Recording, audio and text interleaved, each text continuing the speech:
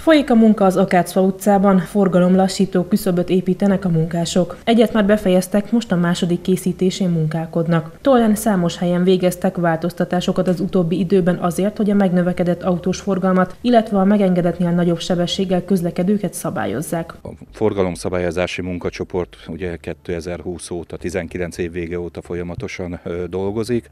A testület többször döntött, már is kerültek bevezetésre különböző forgalomszabályozási módosítások mobilitási eszközök.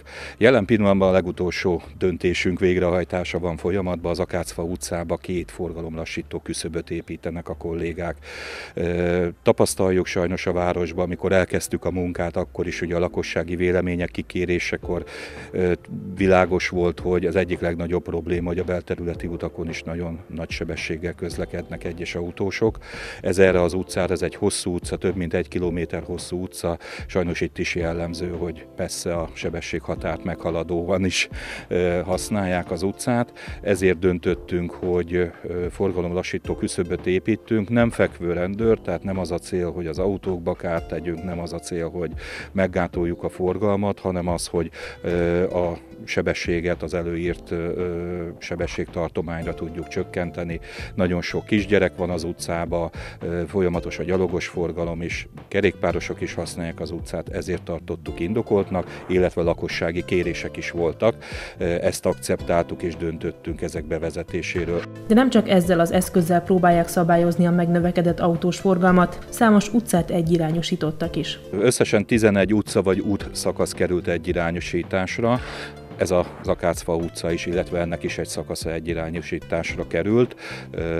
Ezért is célszerű ugye a forgalomlassító küszöb. Ez várható volt, tapasztalható is, hogy, hogy amennyiben nincs forgalmi akadály, nincs szembejövő, nincs kerékpáros, akkor akár gyorsul a forgalom Egyébként látjuk azt, hogy működik a rendszer, az egyirányosítás, azzal, hogy nincs szembeforgalom, nem kell a patkára lehúzódni. Látható, ahol patkát javítottunk egyirányú utcákba, hogy a patkák megfelelő műszaki állapotban vannak. Korábban sajnos egy hónap után leromlott a patkák állapota, kikátyusodott, baleset veszélyes volt, hiszen az autók csak az útról, úttestről lehúzódva tudták egymást kerülni.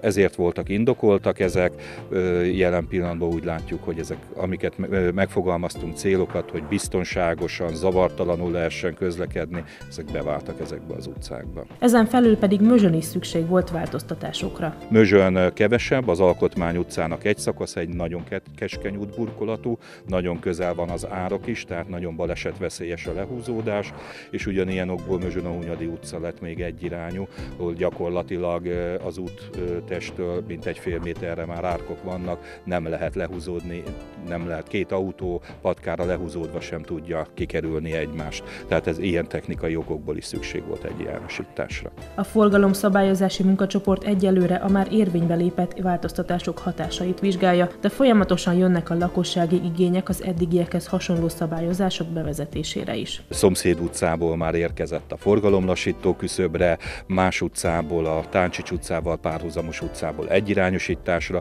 Ezeket gyűjtjük, mérlegeljük, negyed évente a munkacsoport mindig összeül, ezeket kiértékeli, és amikor egy halmaz összejön, akkor nyilván, hogyha szükséges, akkor képviselőtestület elé tárjuk a javaslatainkat, és testület majd megvitatja. Más eszközökkel is igyekeznek lassítani a forgalmat, illetve betartatni a sebességhatárokat, így egyre több ponton a városban és egyre több alkalommal sebességmérés is történik, hogy kiszűrjék a szabálytalanul közlekedő autósokat.